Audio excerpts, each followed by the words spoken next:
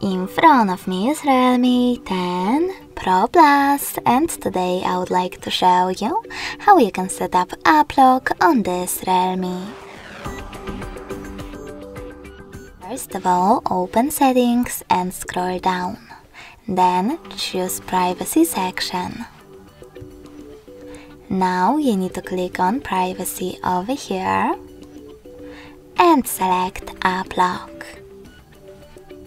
Now choose got it and click on this switcher next to app lock feature.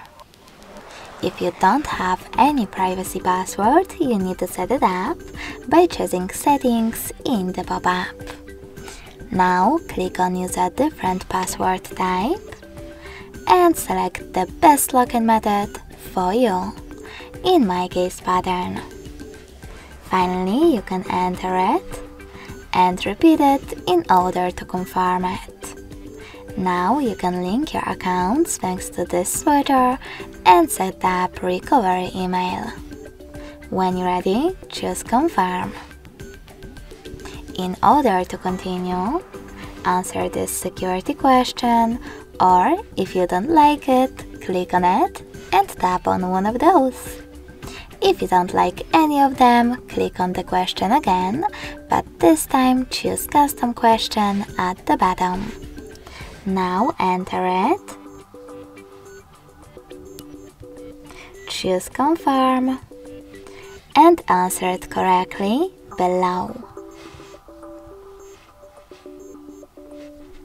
Finally, tap on the check mark at the top right corner and click on the switchers next to apps that you wish to lock.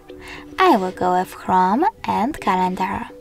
So now when I go back and try to access one of those apps, I can see that pattern is now required. In order to disable lock from one of your apps, go into the same settings, tap on app lock, enter your privacy password and tap on the same No Blue Switchers. If you wish to disable app completely, tap on this switcher next to app feature. Thanks so much for watching. If you enjoyed this video, leave a like, comment and subscribe. Bye!